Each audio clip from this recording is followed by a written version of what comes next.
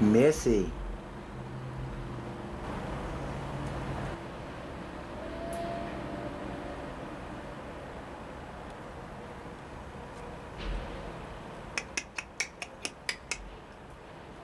so cute. Guess I better go beat him.